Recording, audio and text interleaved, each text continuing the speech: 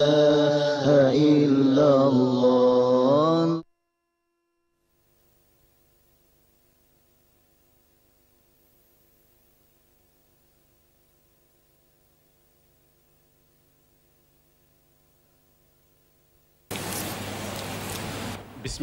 Rahmanir Rahim. Assalamu alaikum. Peace be with you. We will start the afternoon off with a recitation from the Holy Quran by Muazzin Musa of the Great Street Masjid.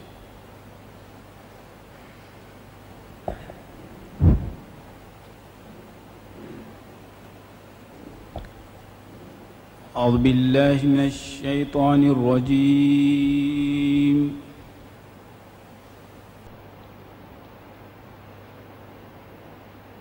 بسم الله الرحمن الرحيم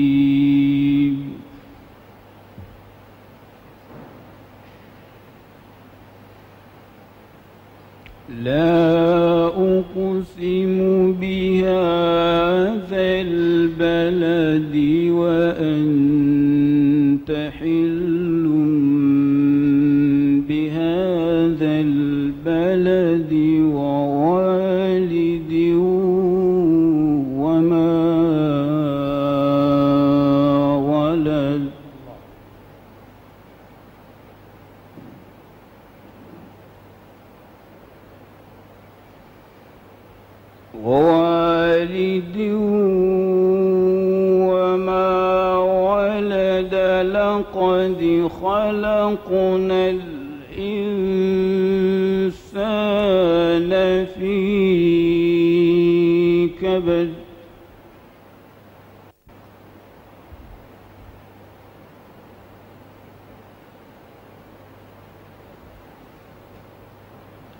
بسم الله الرحمن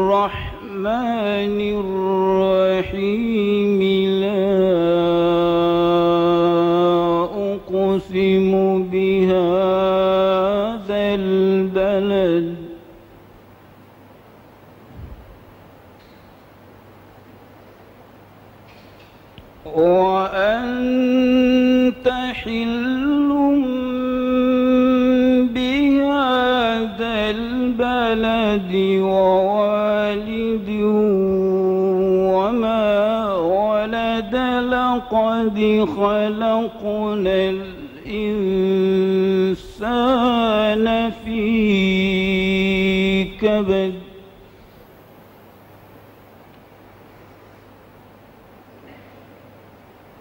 بسم الله الرحمن الرحيم.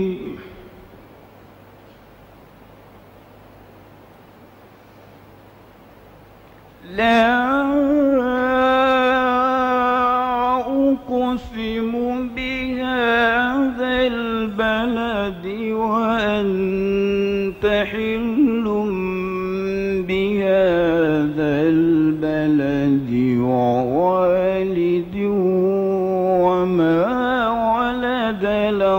لقد خلقنا الإنسان في كبد. يحسب أن لن يقدر عليه أحد.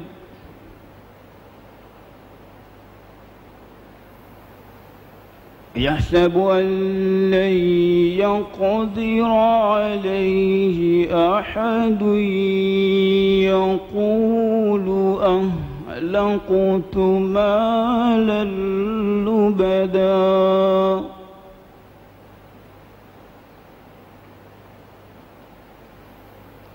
يحسب أن لم يره أحد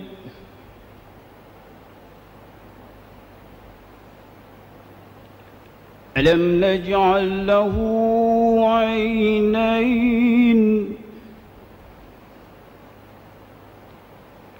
ولسانا وشفتين وهديناه النجدين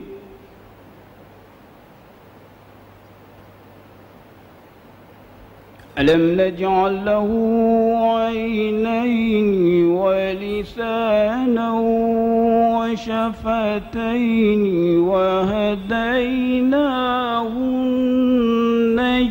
النجدين فلاقتحم العقبة وما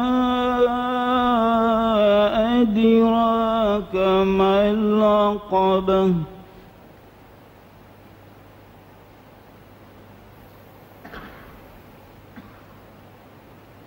ألم نجعل له عينين ولسانا وشفتين وهديناه النجدين فلاقتحم العقبة وما أدراك ما العقبة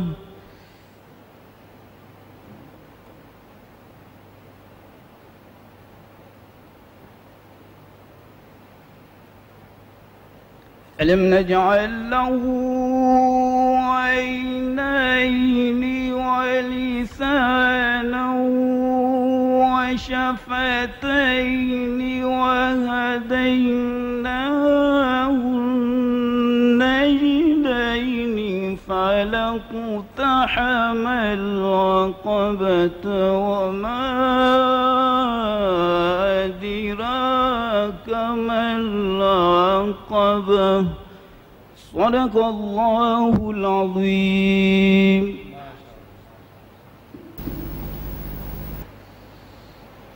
Sadaqallahu ladeen. Jazakallah Musa. Respected elders, ladies and gentlemen, brothers and sisters, it is a privilege and an honor for me to welcome you to this afternoon's lecture by Ahmad Deedat entitled What is Wisdom? Mr. Deedat, as most of you will agree, is no stranger to us all. He is a very prominent speaker. He's well known locally as well as internationally. He's al- also an author of several publications, including The Choice, which is available at the door.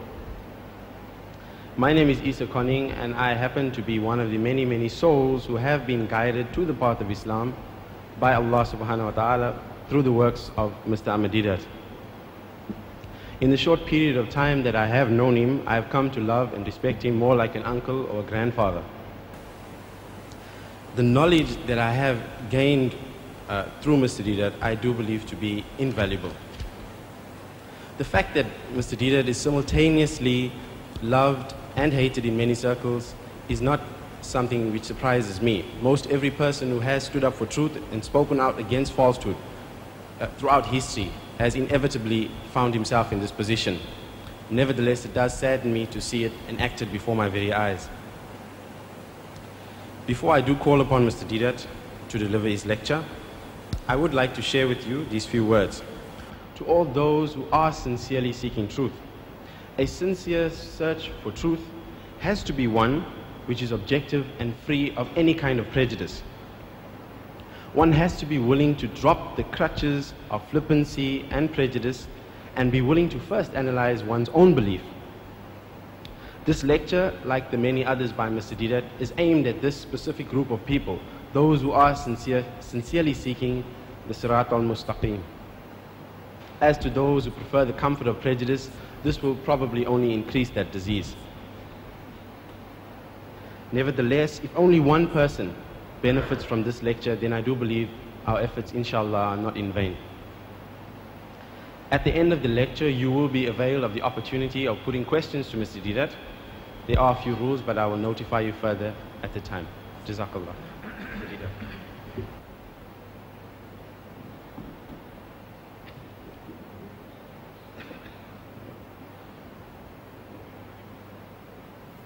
أعوذ بالله من الشيطان الرجيم. بسم الله الرحمن الرحيم. ادع إلى سبيل ربك بالحكمة والموعظة الحسنة وجادلهم بالتي هي أحسن. إن ربك هو أعلم بمن ضل عن سبيله وهو أعلم بالمهتدين. صدق الله صدق الله العظيم. My dear brethren, this ayah I read to you, I first learnt it about 45 years ago. About 45 years ago, me with some other friends, like-minded people, had attended a lecture in the Pine Street Madrasa Hall. And the lecturer suggested that if you, telling the audience, if you memorize half a dozen different verses from the Quran with their meaning, you will shine in any gathering. Wherever you are, Allah's kalam acts as an ornament, it acts as a weapon of attack and defense. From every point of view, different verses, just memorize them and it will hold you in good stead. I and a friend, Mr. Suleiman Seth, he passed away. He had a shop in 144 Queen Street. We are now in 124 IPCI. He was at 144 Queen Street. We came to an agreement.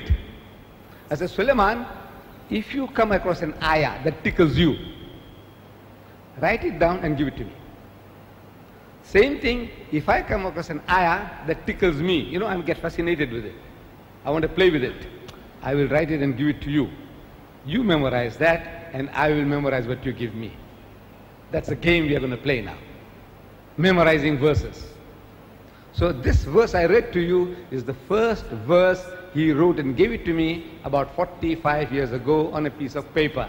And I memorized it. and we made this as a logo on the IPCI letterhead. So invite all to the ways of the Lord with wisdom and with beautiful preaching. We made that a logo on the IPCI letter even today. It's there. So, and this verse is so common. Our Muslim brothers, they know this word. Urwila sabili rabbika bil hikmati. And they're always using this. Not to teach people how to do dawah with hikmah, but trying to correct the person. This morning, this morning, I was at that Felicia Mabuza show. I was a participant there. While going to, to before, before going on to the stage, two Muslim, two Muslim brothers, they quoted me this, ki, you know, hikmat se kam lena. You know, bil hikmati. You know what, what, what's, the, what, what's the message? In other words, the guy is saying, don't, he says, don't, you know, uh, spoil the show. If you have the chance, you tell me now, what is this hikmah? Hmm? Show me, show me hikmah. No, every time a man is asking me, he's quoting me this ayah, he's implying that you, Mr. Deedat, are not using hikmah. Ask him, what is hikmah? He says, wisdom. I said, that's the translation. I want you to show me wisdom. How? How do you implement these words? Mm, bankrupt. But now, before we get into bil hikmah, I said there are things that we are to avoid. Things we are to avoid in dawah. And it's a very powerful ayah in the Holy Quran which instructs us things not to do, the way not to do. I start with that. See, Sheikh Sadi Rahmatullah alayh, one of our great philosopher poets, people asked him, he says, Ya Sheikh Sadi, where did you learn all your good manners from? Very, very cultured, mannered person. Where did you learn all your good manners from? He said, I learned it from the unmannerly. I learned this good manners from the guys who got no manners. He said, how can you learn good manners from a guy who's got no manners? He says, you see, everything that the other guy did, which I didn't like, I said, no, I won't do that. Eliminate from my life. You behave like this, this is how you talk? Brawling, shouting, pushing things down. Hmm, I won't do that. Everything I see in somebody that I don't like, I said, I won't do that. I won't do that. I just eliminated all those shortcomings that people have, and I am what I am. So, getting rid of. And we in Islam, when a person accepts Islam, we are born Muslim, most of us, I take it, we are all Muslims. But when a person accepts Islam, we make him to read the Shahada, the Kalima. And how does it start? How does the Kalima start? La ilaha. You start with La. You know what's La? No. There is no ilaha. There is no object of worship. Illallah, except Allah. The most powerful word in any language. La. No.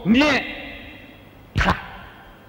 In any language, this word no is a very, very most powerful word in every language on earth. Once a person says no, you have to move heaven and earth to make him to say yes.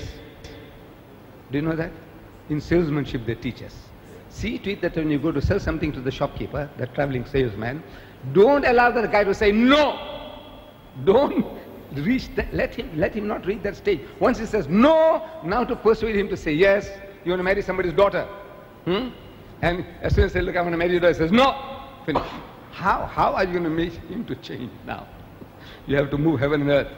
So it's a very, very powerful word, and Allah begins instructing us. He says, Wala, wala, wala, and don't. Wala tujadilu ahl al-kitabi illa billati hiya ahsan. And I had the good fortune, say people throwing things at me. So I have to learn to find out how to defend myself with Allah's kalam. So I learned this ayah as well. And a beautiful message was given to me. It was about six months ago. It was winter time. Maghrib was around five o'clock. So I get a telephone call from Mr. Babu Jadwat. Ideals, ideals. You know, ideal corner, ideal clothing people, ideal. That ideal corner. There got so many ideal shops. Jadwats. So he phones me, he says, Uncle, there is a group of six Saudis coming along, and I want you to be at the airport welcoming these people.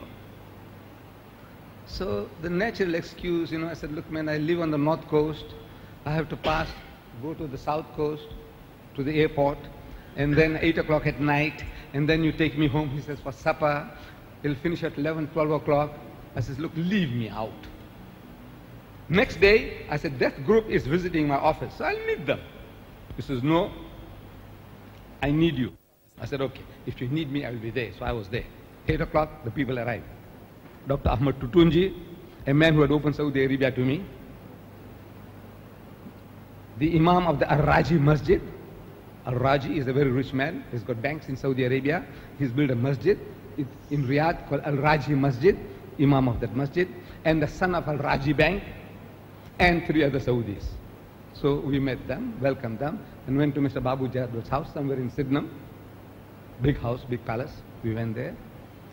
And when we arrived there, there were about 50 people there because it was dinner. Dinner. If there was dinner or lunch here, you know, we would have had the hall filled. No, I, you see.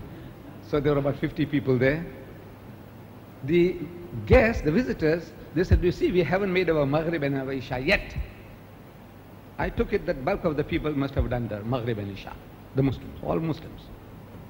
So I said, no, I'll also join you. So I joined the people for Maghrib and Isha. After making wudu and joining them, I said, Allahu Akbar for Maghrib. Mm. I said, you know, I already did Maghrib. It was around 5 o'clock Maghrib. So in my mind, from 5 to 8 to 9, it looked like I did Asr. But what can I do?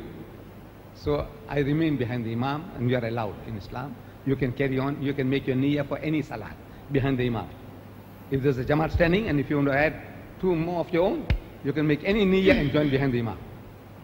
So I joined behind the Imam with that Saudi group. In the second rakat of Maghrib, the Imam is reading. ولا تجادلوا أهل الكتاب إلا بالتي هي أحسن إلا الذين ظلموا منهم. وقولوا آمنا بالذي أنزل إلينا وأنزل إليكم وإلهنا وإلهكم واحد ونحن له مسلمون. الله أكبر. سمي الله لمن حمده. الله أكبر. And we finish the next rakat finish the Maghrib. Then did Isha. They did two. I did four. Finish that. Now all the surahs he has been reading it was like water on duck's back I heard and I didn't hear I couldn't remember a thing there are 6,000 verses in the Quran and if Imam reads it Would you remember what he's reading? What he's reading? Unless you have the Quran, or maybe it's some, something special to do with that ayah that the man is reading as a message for you. no. Bulk of all the verses he read were like water on duck's back. It just flowed away. But this verse in the second rakat made an impression on my mind. You know why? Because I knew the meaning. I knew the meaning of the verse. So I said, huh? hey, this man is talking to me. He's addressing me. This targeting me. So after Salat, I want to get near to him to ask him. I said, why did you read that ayah? They had no chance. So we sat down to eat. Across the table from me is Dr. Ahmad Tutunji, and this Imam is about four or five people away from there. So I'm asking Dr. Tutunji, this man doesn't know English, and I don't know Arabic. So I'm asking Dr. Tutunji, please ask the Imam, confirm it with him whether this is what he read. وَلَا تُجَادِلُوا أَحْلَ الْكِتَابِ إِلَّا بِالَّتِهِ أَحْسَنُ I said, ask him.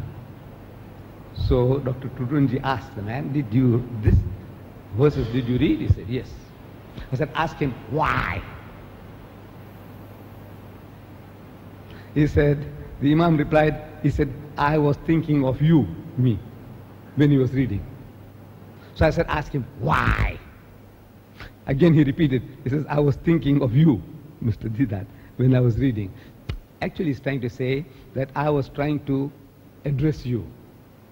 In that, that's the purpose of Salat. Purpose of Salat is to give us instructions, guidance. That's the purpose of Salat. Taraweeh, we went through that whole month.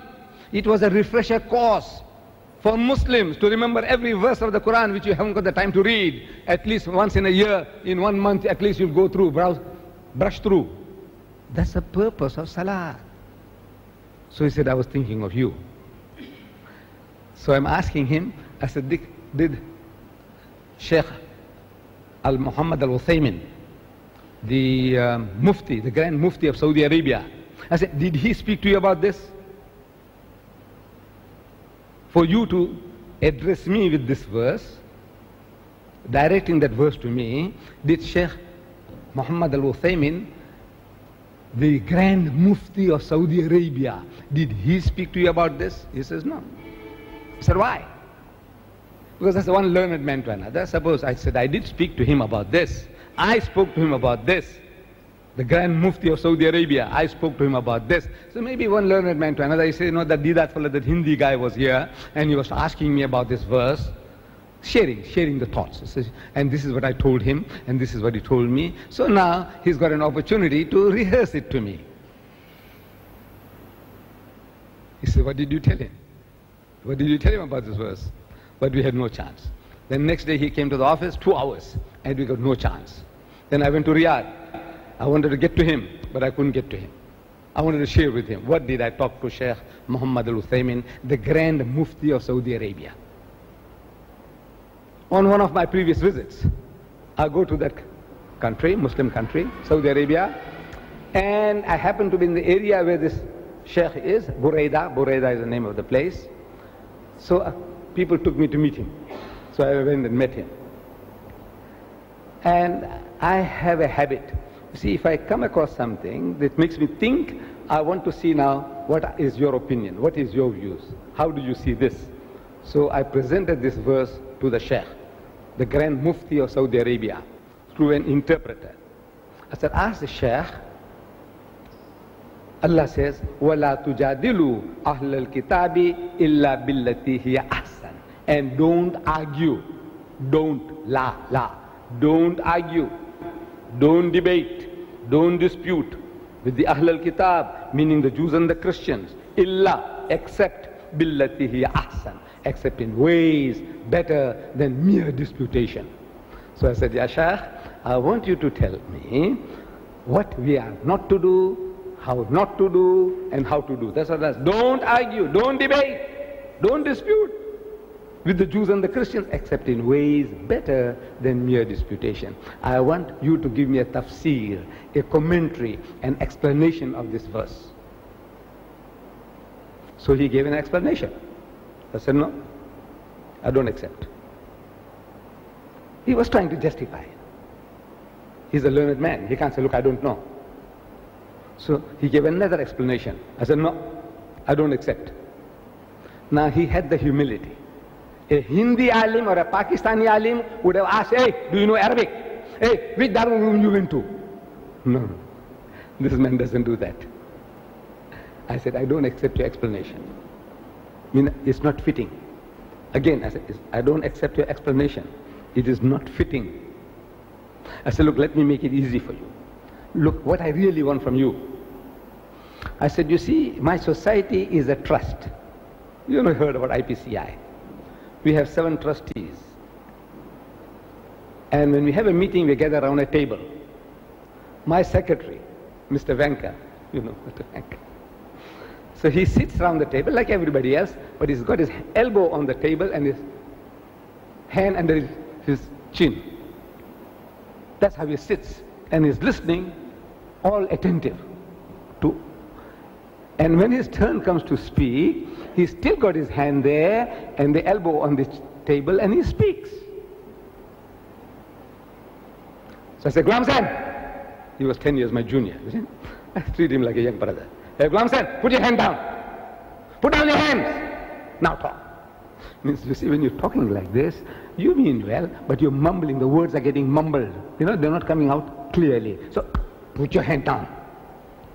Now talk. So that's what I mean. Not like this, but like that. I gave another example. I gave another example to the Saudi who was asking me.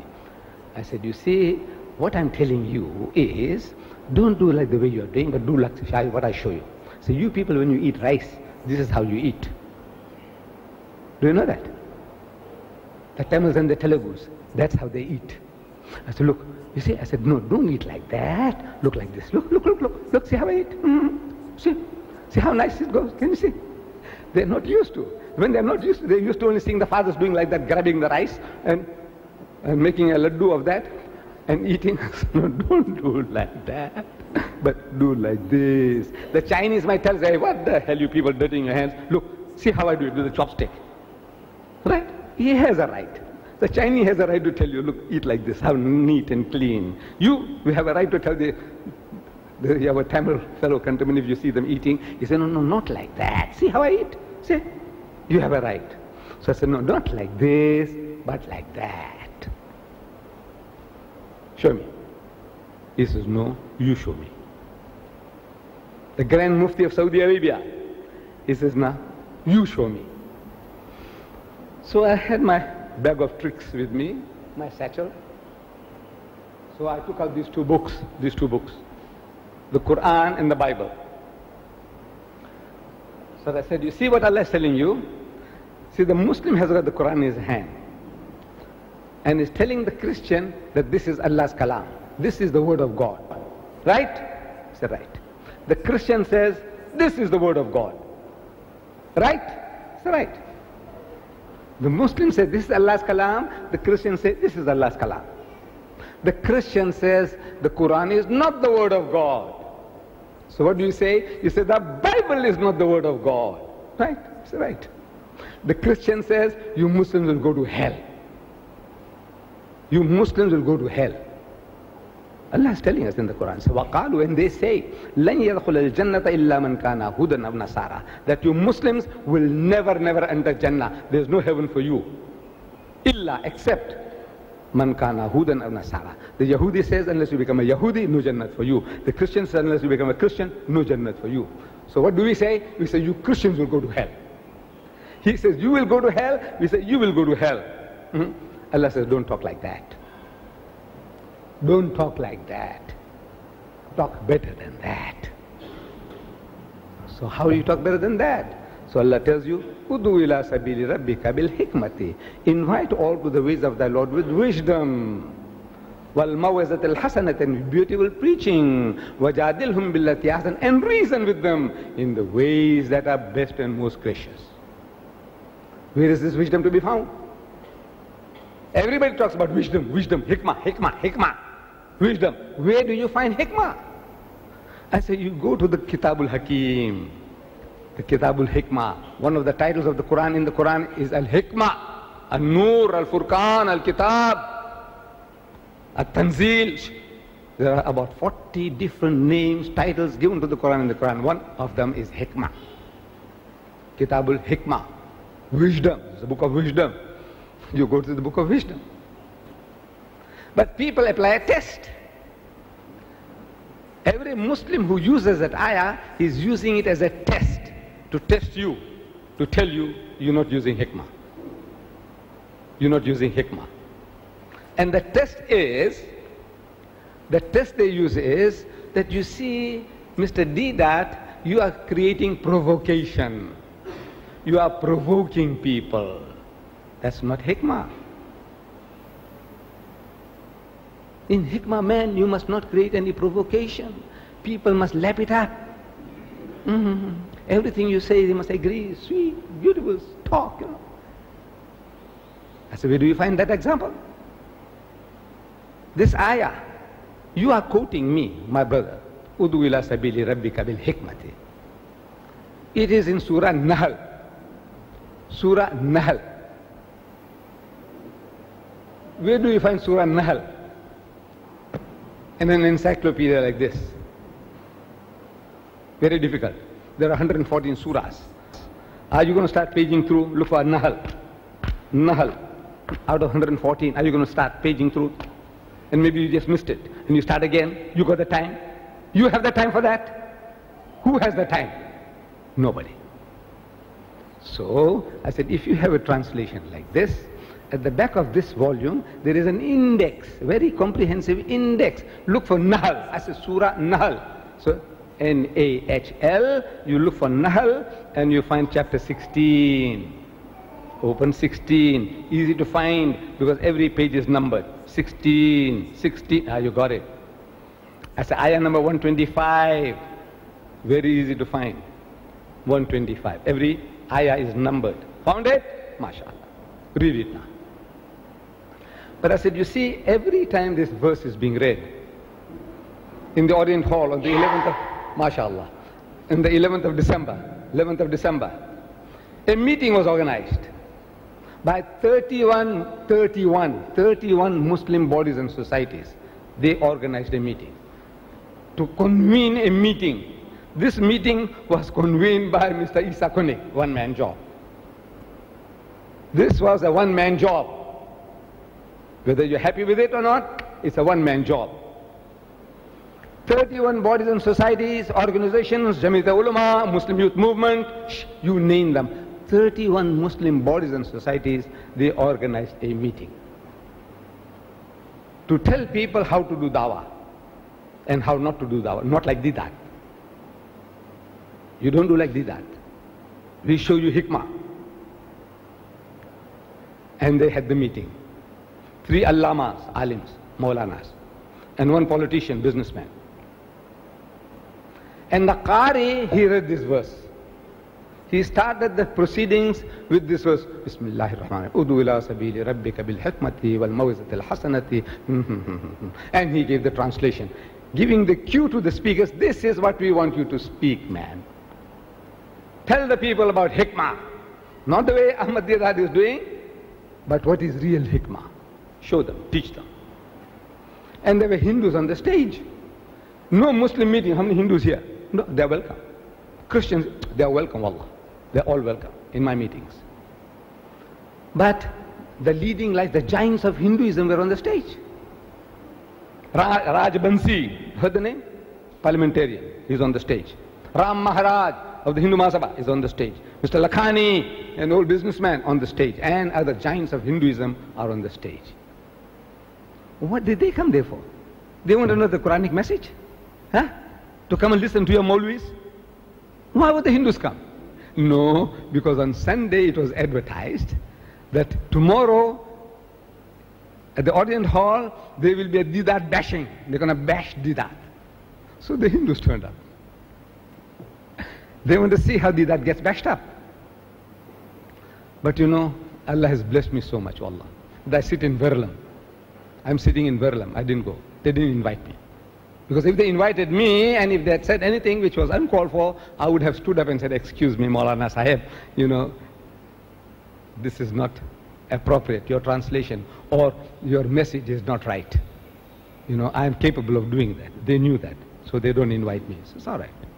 But from Verulam, 25 kilometers away, in my house, I'm controlling the meeting. Did you know that? You can't believe it. This old man, he's a wali, Allah wala. You know Allah wala? Godly. From Verulam, I say, hey, don't you take my name. No, I didn't shout. I didn't shout. In my mind, don't take my name. Nobody ever mentioned my name in the whole meeting. I said, don't take the name IPCI. You understand? Don't take the name IPCI. Don't take the word from Hinduism to Islam, the tape. Don't mention that. And nobody mentions it. Can you believe it? The meeting is called for that. The meeting is called for that, for Ahmad Deedat and his tape from Hinduism to Islam. And you dare not mention my name, you dare not mention the name IPCI, and you dare not mention the name of the tape. What kind of meeting is this? Huh? Is a wali. You have to become my murid. At the end of the meeting, a Hindu stands up. He must ask questions. He has a right, wallah. You see, my tapes, there are about over 80 tapes, videotapes. Every tape ends with a question and answer. Every tape. We don't gag people. So you listen to me, take it for, push things down your throat and say, now go. I've got no time now, I'm busy. No, we don't do that. We give you a fighting chance to say, Mr. D, that, you know, this was not called for, or this was, you made a mistake here, this was not right, but we have a counter answer to that. I give you the chance. Fighting chance. Anybody, everybody. They says, no. The chairman says, no questions. Look, it, the Hindus are there. Why did they come there? They want satisfaction. No questions. They if you have any question, you write it and you send it to the alims and they will reply from home. You got the time to do that? Hmm? You are worked up. You want to know what is this meeting all about. You called us to come here and we came and you don't take the name Ahmad Deedat, IPCI or the tape from Hinduism and Islam. What kind of a meeting is this? It's a hoax. And 31 bodies and societies got together to organize this meeting. 31. I said, you see, it was an opportunity, wallah. It was a grand opportunity. For the alims to demonstrate, they said, look, our Hindu brothers are here. They're sitting on the stage. And I want the Maulana to explain to them, invite them to Islam. Bil hikmati. That's what the Quran says. Bil hikmati. This is hikmah, my son. See, talk like this. This is how you must talk, not like Ahmad Deedat. This is how to talk to them. One Maulvi, another Maulvi comes along. He said, look, this is how you must talk to them. And the third Maulvi comes along. He said, this is how we talk to them. That is the purpose of the meeting. It's an opportunity of a lifetime. I'm going to tell you how to talk to the Christians. And we got Christians on the stage. And I don't say one word. I don't say one word about their beliefs that you see they, our Christian brothers, they believe in the original sin.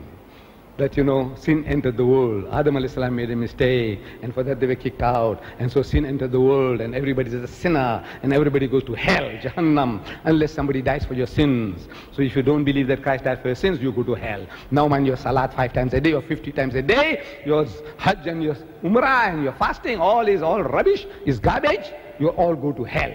The only way for you to get Jannah is to believe in the blood of the Lord Jesus, that He died for your sins. I have to tell them that. In the house of Islam, what do we think about that? They say that Jesus is God. In the house of Islam, you know, the reasons we say, no, Jesus is not God.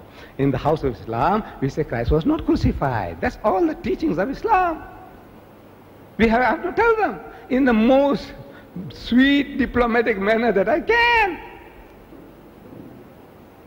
That's the purpose. The people are there waiting. And you don't touch the subject at all. You're telling the Muslim, be nice, be kind, good words, sweet words. Use the words, man, talk to them. How to use those nice, sweet words. Hmm. Everybody starts with Ayah 125. I'm telling people, I'm asking.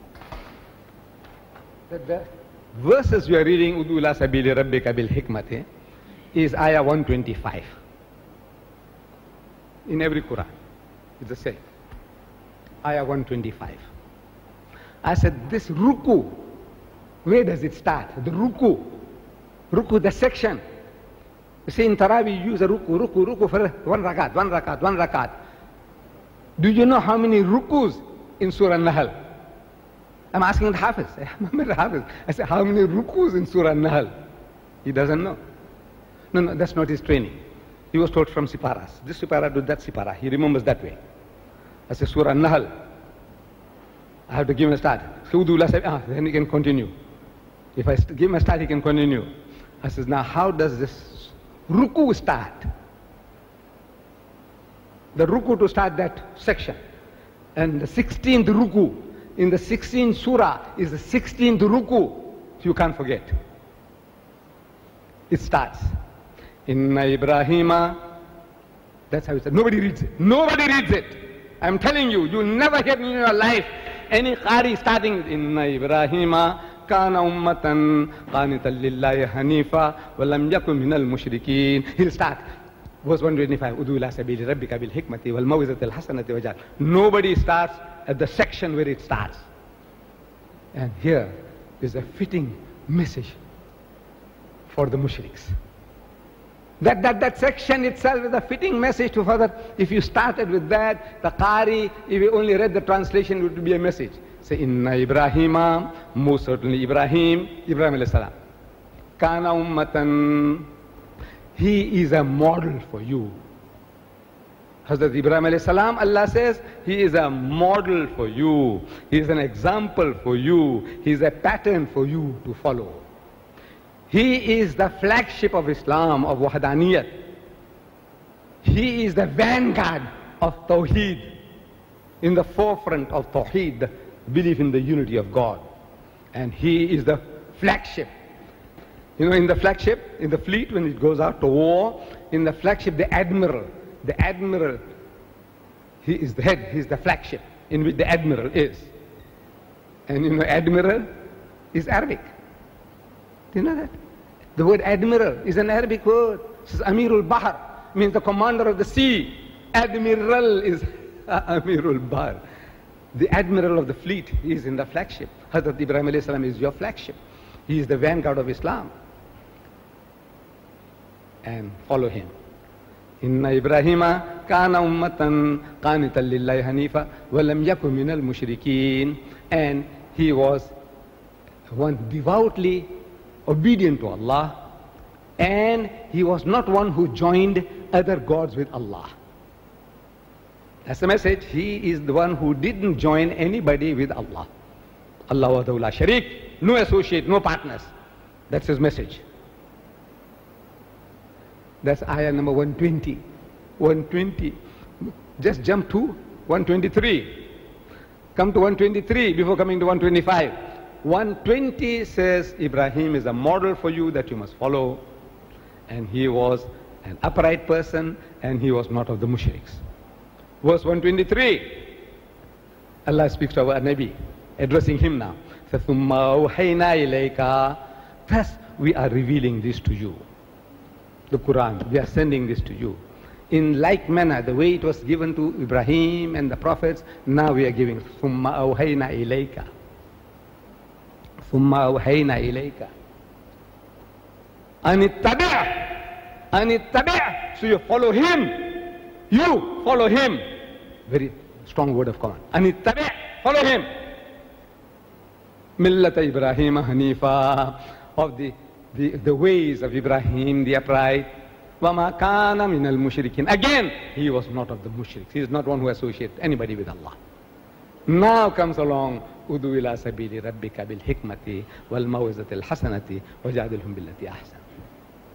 Allah says Ibrahim is an example for you, model for you.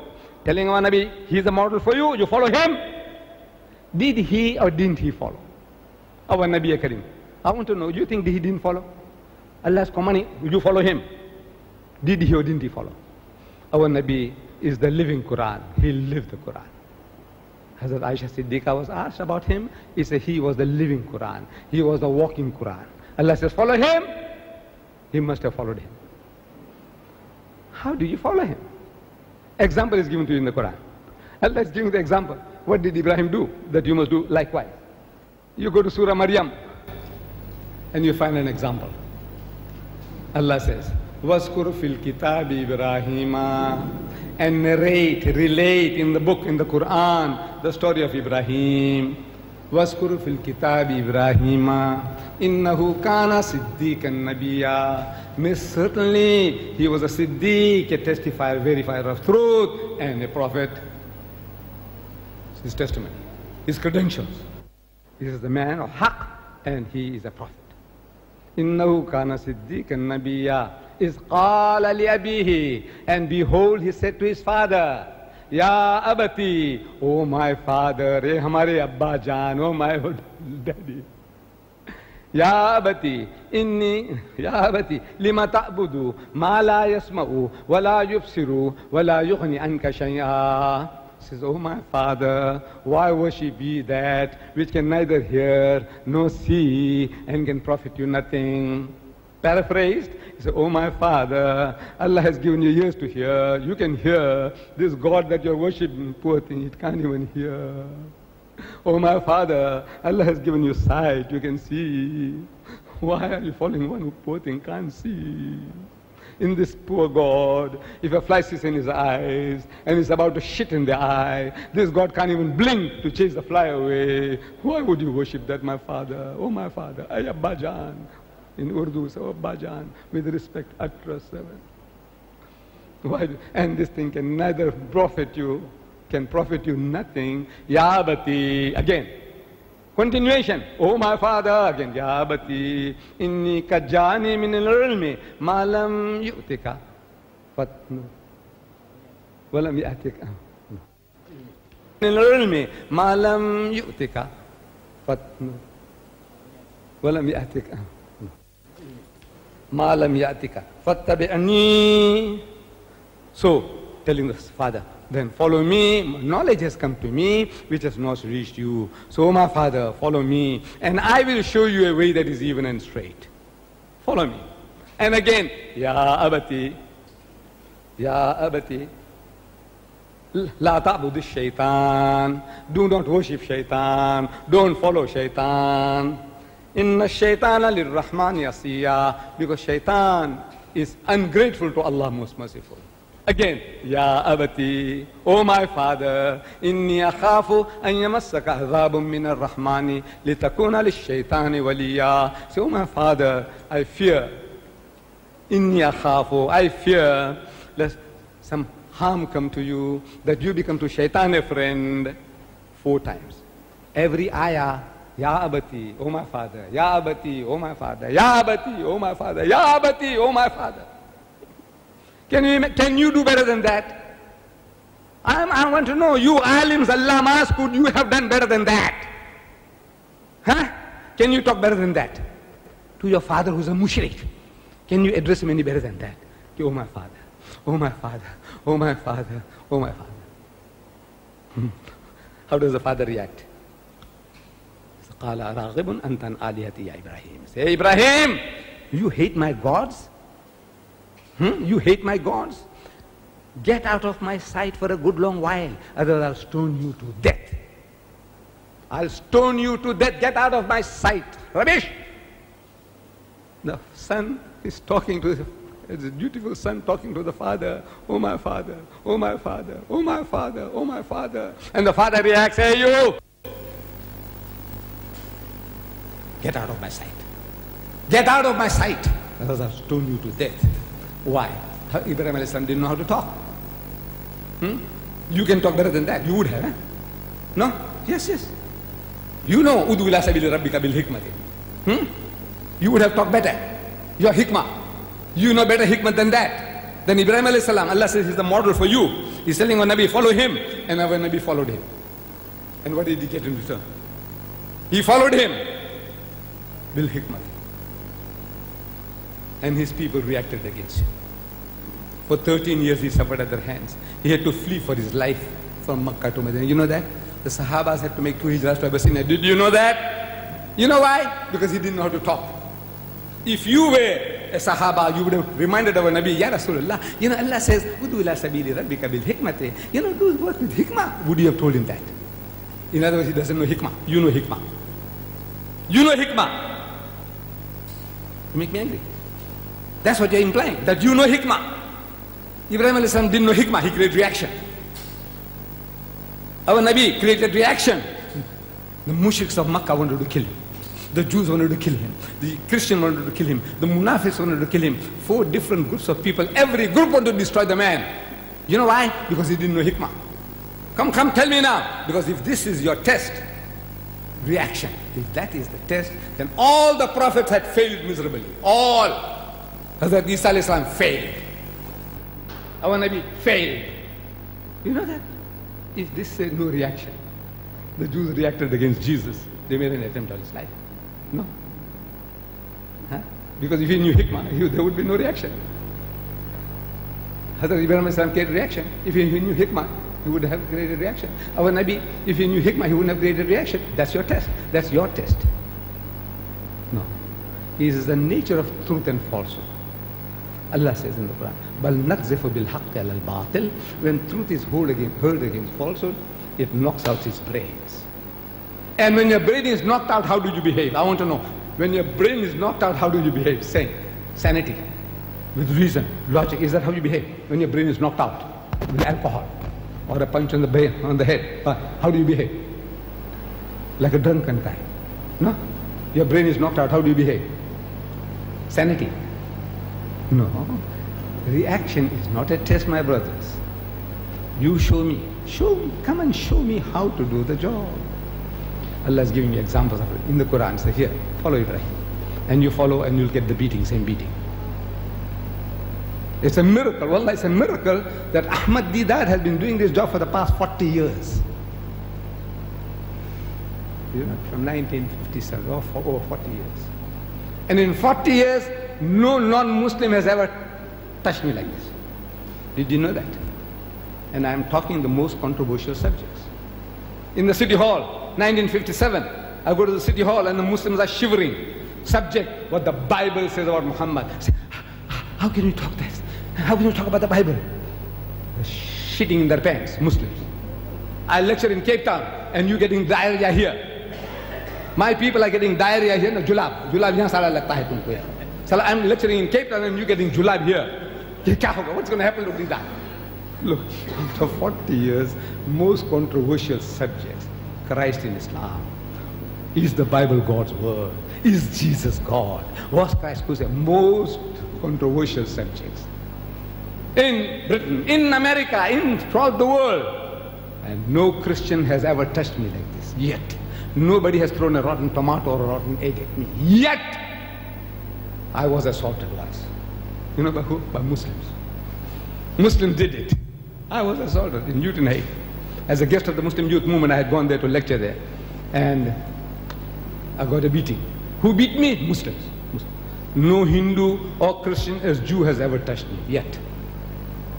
I must be an angel. Or I'm like, like that man. Says the man they couldn't kill. There was a program on radio. The man they couldn't kill. He seemed to have had got a shield around him. People can't see, but nobody can get near him. That's Ahmad Deedat. Alhamdulillah, Allah has looked after me. No, no, I'm not provocative. Wallah, I'm speaking, I'm reasoning, and the guy who's listening, although he disagrees, he can say, well, he's got a right to say what he's saying. You disagree with me, but he says, no, he's not insulted. He's putting forth his case. Look, you say Jesus is God, we say he's not God. Why? You say Christ died for your sins, we say no, he didn't. He said, why? Hmm. Coming to the point, the Sheikh, I showed him this. He said, 100%. Your way of talking, I said, now what you do, I said, it depends on the customer. Bil hikmah. How do you talk to the people? Each according to the customer. We, the Indian Muslims, the business people. When I was a schoolboy, I left school, I went and worked in the country shops, and my fathers, our fathers, elders, were saying, Jiv ghara teu padiku. You know, as the customer is, that's the type of parcel you tie up for him. Jiv ghara teu padiku, depending on the customer. Right? The white man comes along, he buys a brown paper, brown paper, brown paper, bring brown paper. The poor African buys newspaper, newspaper, we tie it up. Jiv ghara teu padiku. Depending upon the customer, the parcel that you tie depends upon your customer. Now this guy, poor fellow, he doesn't mind newspaper. We're trying to like the white man, he needs a brown paper, so you need a brown paper. So according to your customer, you tie the parcels. What is he talking about? So start with him. The ordinary man, the fellow worker with you, who's working with you, he's working with you, talk to him nicely. Talk to everybody nicely. Assuming that the guy's good. He says, you know, you start. How do you start? With a Christian. He says, you know, we believe in Jesus. He says, what? We believe in Jesus. He says, what? He's thinking you want to carry favor with him. Hmm? He says, you know, we believe he's one of the mightiest messengers of God. He says, yeah. Says, yes. So you know we believe that Jesus was born miraculously without any male intervention, which many modern day Christians, including the bishops of the Anglican Church, they don't believe, but we believe. Did you know that? Bishops of the Anglican Church, they don't believe, but we believe. We believe that Jesus was the Messiah, the Messiah, translated Christ. We believe he gave life back to the dead, based in Allah, and he healed those born blind and the lepers, based in Allah. You know what the Quran says? It says no. Opportunity invite him home for a cup of tea. I'm showing you how to do the job. Invite him home for a cup of tea. Say, have you seen the Quran? He says, no. He said, look, I show you. You know what it says about Jesus? He says, no. Open. In this volume. Index. Jesus. He speaks about Jesus. First item. And the J, Jesus. First item.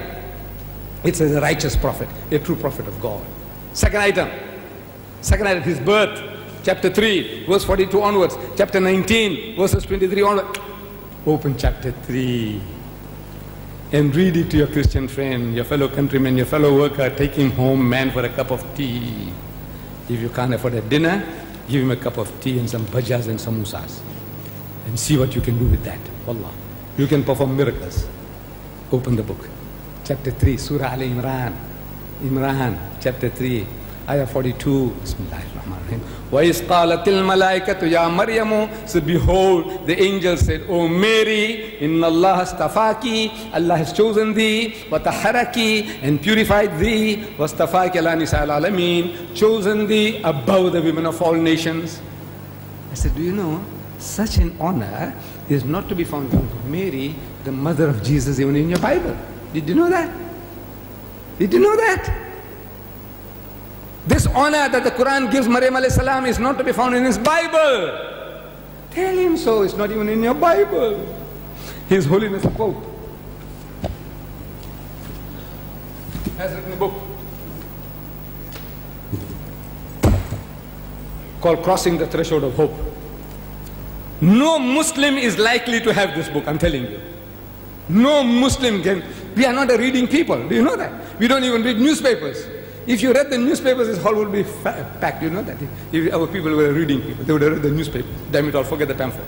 If you read the newspapers, you would have come. Curiosity. Let's see, man, what this guy has to say. Curiosity. You even have got curiosity. You don't read newspapers. Bulk of us, I'm telling you, we don't even read newspapers. I see a review of this book in the Daily News. Mm-hmm. Then I said, well, what has guy got to say? What will he say? How much is it? You know how much? 59.99. Are you hearing? Are you guys hearing? 59.99. If you gave 60 rands, 60 rands, you get this change, this one cent. Can you see this? If you gave 60 rands, you get one cent change for that book. 240 pages. In contrast, hardcover, gold embossed, silk paper, silk paper, five rands. I give you 12 of this for one of this. I give you 12 of this for one of this. And the Muslim finds it expensive. He finds it expensive. I'm telling you, this is my nation. You make me angry. Wallah, you make me angry. This 60 rands less one cent. I give you six Qurans for the price of 60 rand and one cent change I'll give you two. 1,200 pages, 2,000 each. Six copies I give you for 60 rands and one cent change I'll give you. I give you six Qurans, 2,000 pages each. That's 12,000 pages as again 240 pages. For this 200, I give you 12,000 pages and you feel it hard. Hmm. Can you make 10 rands each. And I say, if you can't afford it, come and see me. I'll give you free. Wallah, free. You just have to come and tell me, uncle. I said, look, I need the Quran, but I can't afford it. I want the book. I want the book, Mr. Deedat, but I can't afford it. Wallah, I won't ask you for your bank balance, and I won't ask you how much you're earning and how you squander your money. Mhm.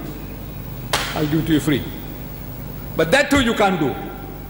You know that you're too damn proud, man, too damn arrogant. I'm telling you, you are an arrogant people. Somebody offers you something for nothing, even that you can't take. How miserable can you be? How miserable can you get? I want to know. I say no, to my sisters here, all the grown-ups, I want you to take one each free. That's for you. It's a great sacrifice on your part. Having come, you honored me. Wallah, I feel greatly honored. May Allah bless you all. Everybody gets this book. You people, five rands each. If you can't afford it, come and see me in the office. This Quran, ten rands each is available. Man, you need it. It improves your English. Wallah. This English that I'm talking, where did I get? I'm a standard six Johnny. But I'm talking, you know, where this Quran, wallah, this Quran did the job for me. It improved my English. Hmm? Talk, talk, talk, man. Then gives you an opportunity of this, share the message, deliver the message. Allow your children to read this. Make your children once a week, at least once a week, your son, your daughter. Then, then, there are You know, read it and explain to your mother. Read it and explain to your mother. Once a week, only once a week. Don't be too greedy. Only once a week, after supper. Hmm? Ask your son. I said, read it and explain to your mother. You know what you're doing? You're making it to actively go through the mind of your child. And if you do it once a week, inshallah, the family will grow together, unite together, respect and reverence for the parents, all that you can achieve, and the knowledge. The child comes to know where I can find what. Any problems, let's go to the Quran. Let's see what Allah says. Let's see what Allah says. Very comprehensive, comprehensive index. Whatever you want to know, go to the index. You know about marriage in Islam under M. You know about divorce in Islam under D. You know about heaven or hell under H. What do you want to know? Whatever you want to know on your fingertips. And how much? 10 rands. And if you can't afford it, I say, come and see me. I give you free of charge. So with these words, my dear brothers and sisters, I hope that we have learned, imbibed something about bil hikmati. Hikmah means to do it with wisdom. It does not mean it can't create reaction. Reaction is not a test. That's all. Reaction is not a test. Because against all the messages that mankind gives, for guidance, there's always a reaction. If I tell you something that you are not involved in, you say, mashallah, mashallah. Like a country priest. I'm ending with this. He's stealing, talking about stealing. One of the commandments, ten commandments, thou shalt not steal. So he's lecturing to his congregation, says, thou shalt not steal horses. So everybody says, amen, amen, amen, amen. So thou shalt not steal cows. He says, amen, amen. Everybody says, amen, amen. You must not steal sheep. He says, yeah, amen, amen. You must not steal chickens. He says, I mean. Said, you must not steal eggs. So one guy shouted, this guy's interfering now. He was talking about, he was, just, but I'm that, I'm that sure. Extra. Don't talk about eggs. Talk about everything else because you're not involved. You say, you say I mean, I mean, I mean, I mean. But where you are personally, you must say, this guy's interfering now. He's talking business now. When you talk about interest, he's talking about interest. Look, poor fellow. Let him talk about religion. And mind his own business. Let us carry on with our business, you know, whatever we do, with interest. So, so when you're personally involved, you react. After about everything else, we agree. But you are a nicotine addict. A cigarette is very bad. You know, you're squandering money, health, and you're inflicting suffering on your old mother. She's got short breath. You know what you're doing? You're actually strangling her. Your child has got wheezing. You know what you're doing? You're suffocating your child. You're rubbish. Ah, says Nadi, that is interfering. You see, just keep to religion, man. Talk about salat and zakat and hajj and som. We are happy with him. Don't talk about cigarettes. Don't talk about interest. This is man. So when you're personally involved, this is people react.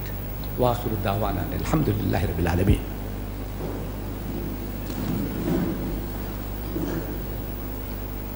Jazakallah, Mr. Leader. Ladies and gentlemen, it is now question time. Therefore, anyone who does have any questions pertinent to the topic, you're invited to come forward. The microphone here provided. There are just a few rules. Uh, please, one question at a time, and preferably, as I say, the question should be relevant to the topic under discussion today. If you do have more than one question, you can go to the back of the queue. Anyone who does have questions, you're invited to come forward now. Mm, actually, I didn't uh, participate at the beginning, but I think wisdom is a big subject. So I would like to ask a question. And before that, uh, I would love to make a statement. We Muslim people believe that the Quran is the last testament. We believe as well that it, it is an answer to every problem of mankind. So, could you perhaps highlight this statement to the non Muslim people by relating it to the socio-economic and political situation of the world? That's it. Thank you. Allah says He's given to us in this Quran every type of similitude, example, guidance. So now, what is your problem? What is your problem for which you need guidance? You want to know about how to run the country? You go and ask the experts. See, every, in every field you have experts. When this statement was made, I think when Napoleon went to Egypt, and when he heard this, that the Quran has answers to all your problems, all your questions. So Napoleon said, right, call the Sheikh of Al-Azhar. He said, you say, you claim that the Quran has solution to all the problems, answers to all the questions. He said, yes. So he said, my army, I want to know what amount of food that is required for a week. My army, how much meat, flour, rice, what what I need for my army. What does your Quran say? So the Shaykh said, the Quran says, if there's anything you don't know, ask the experts.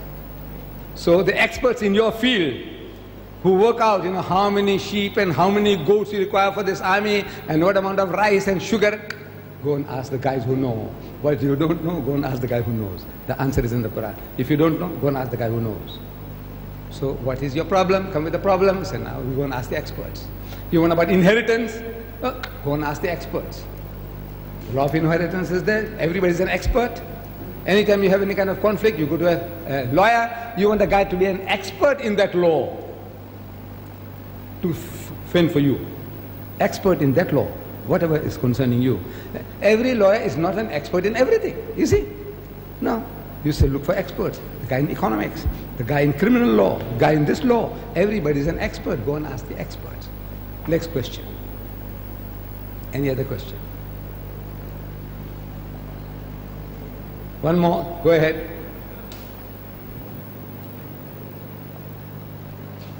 I think I have to be more specific. I've been, I've, I've been asked this question I couldn't answer properly. That's why I wanted to ask it in this debate. Actually, I've been discussing with some few Christian friends, and they want to know whether or not polygamy in Islam does not create trouble in the society. See, that, that is how. You see, now when you ask that question, otherwise I will start going to how Mandela is, you know, creating this constitution and how the, con- I, where do I, what do I grapple with?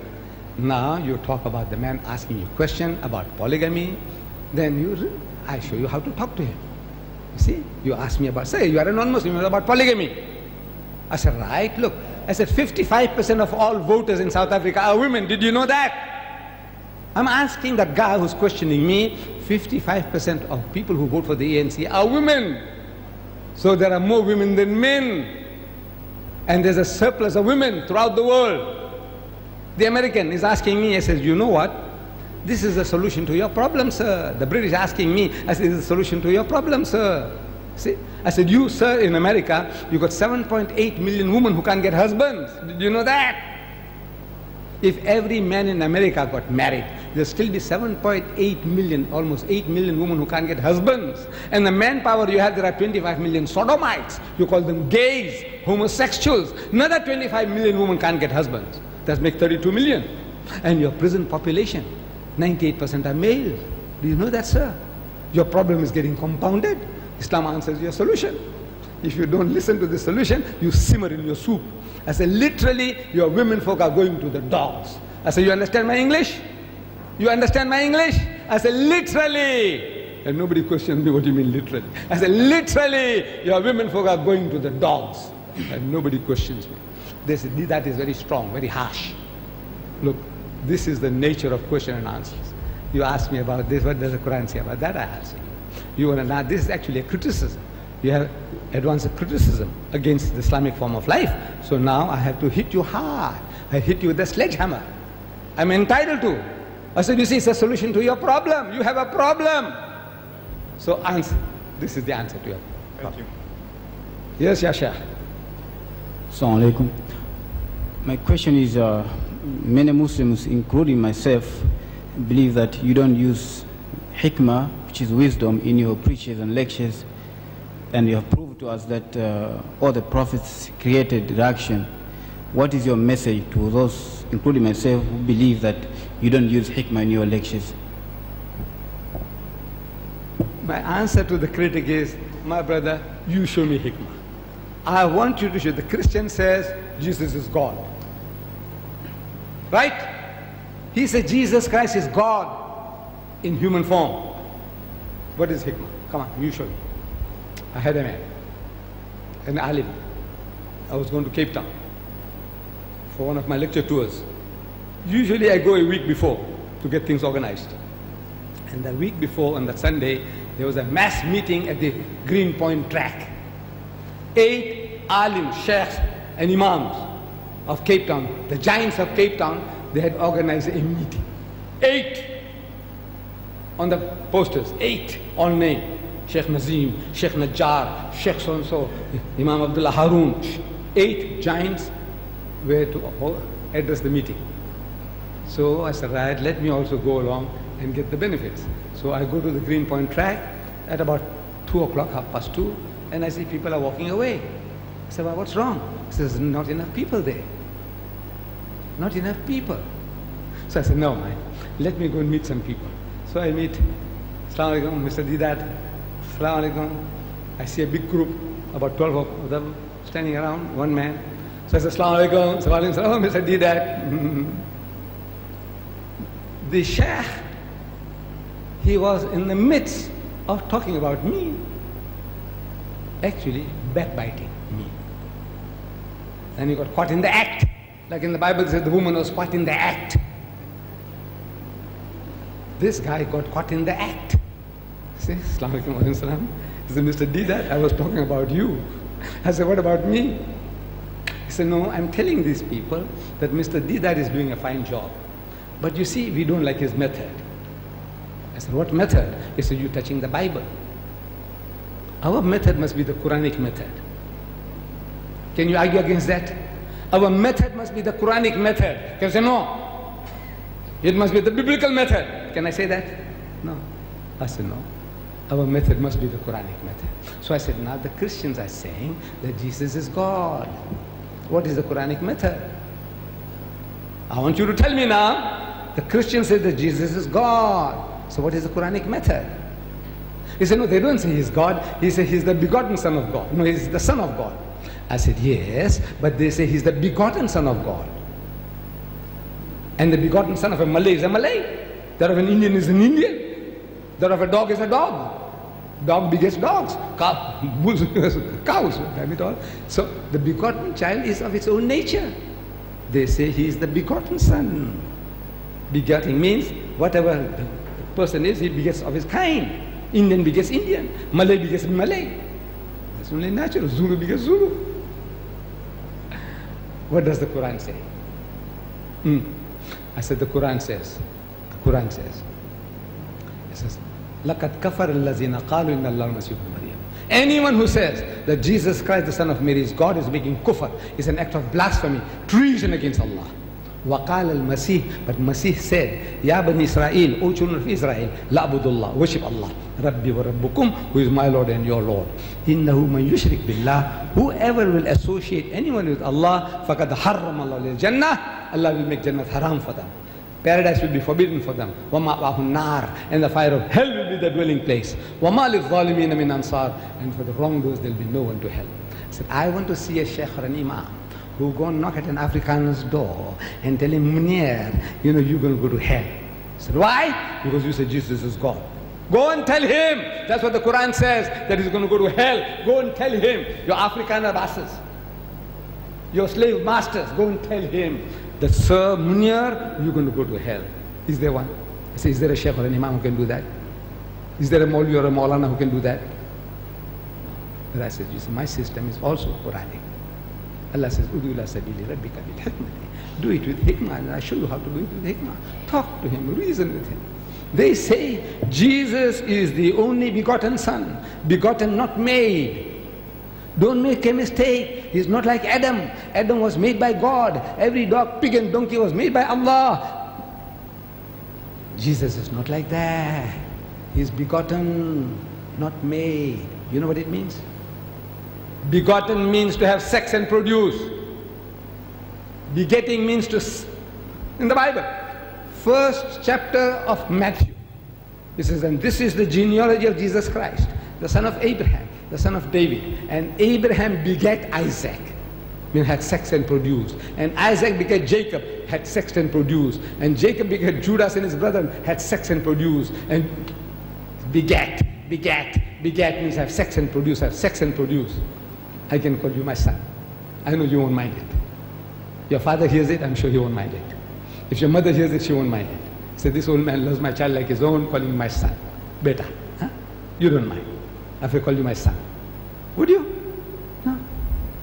But I visit you at home. What's your name, Beta? What's your name? What's your name? Hashim. Kasim. Hashim.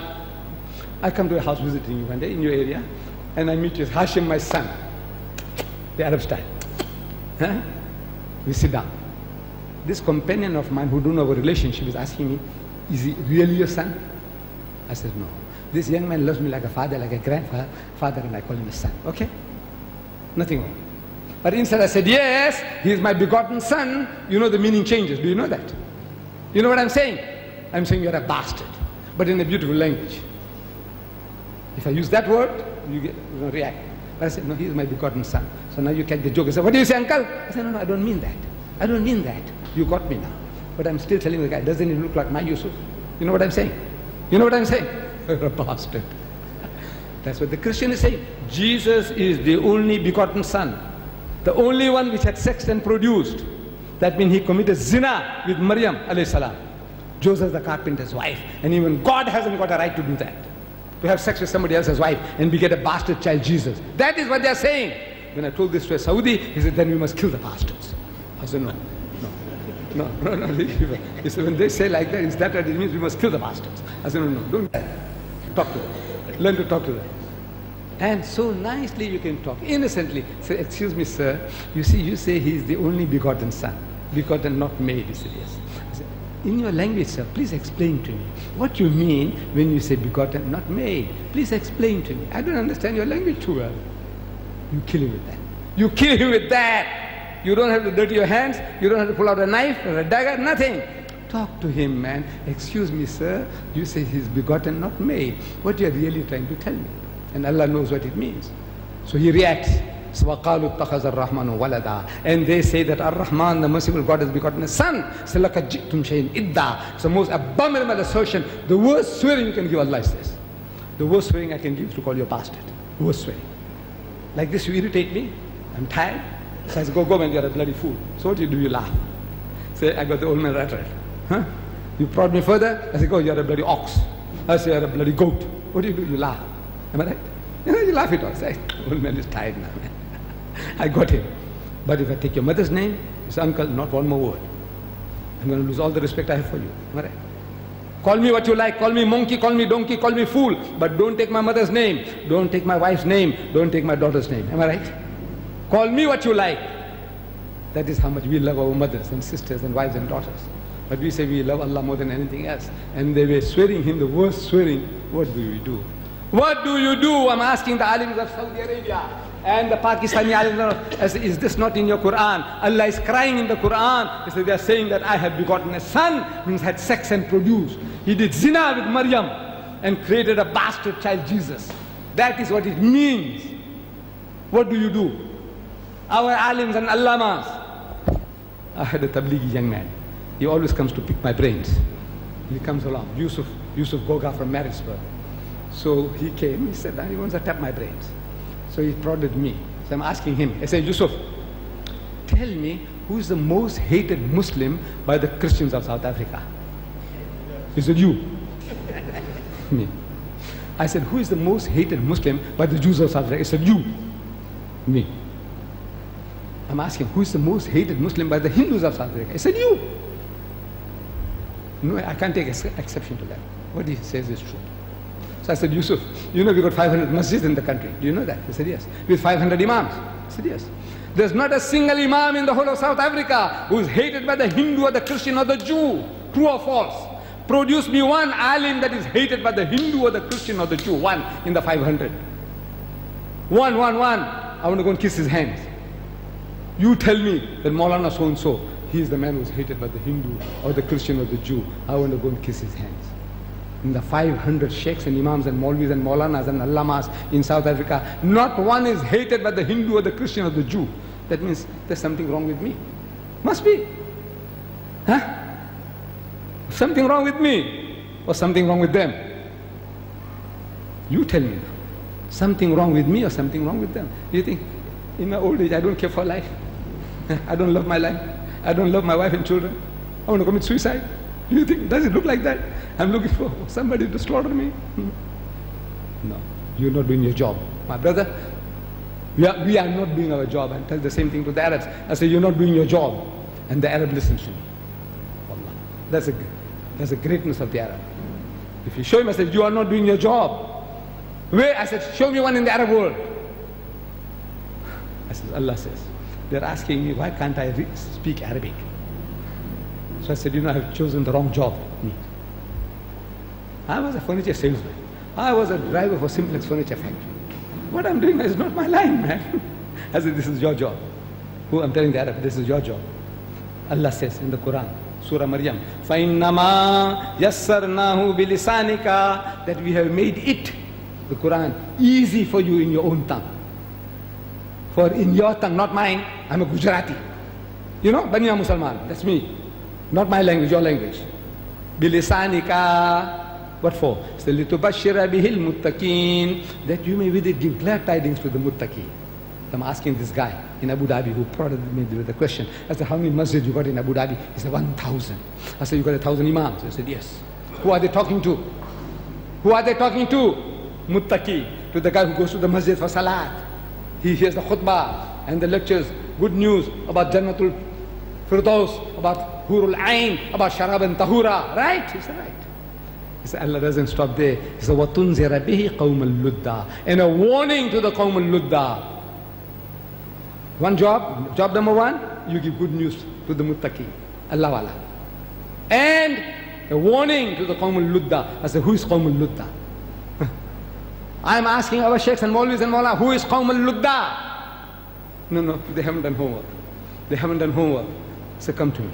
I have now addressed a letter to the Jamiyat Ulama. I said, look, I want to come and talk to the alims. You alims, I want to come and talk to you.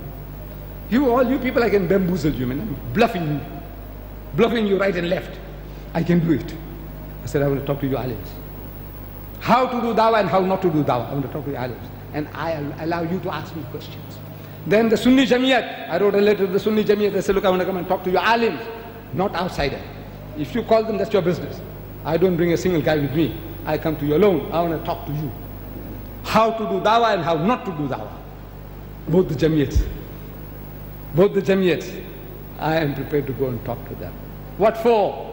Because I know, Alhamdulillah, I have understood what I'm talking about. I know what I'm talking about. And I can quote you Quran and the life example of the Prophet, examples after examples.